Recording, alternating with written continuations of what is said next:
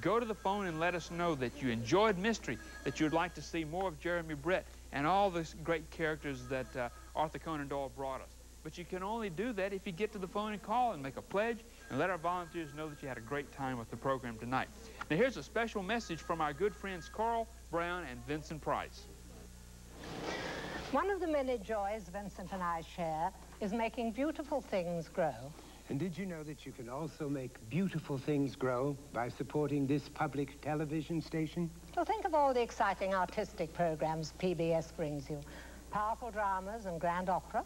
And those wonderful nature series and deliciously chilling mystery, of course.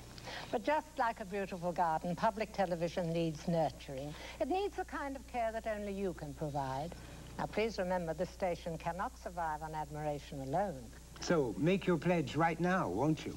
Well, if those of us who care won't do it, who will? Yes, who will? It's never too late to make that membership call.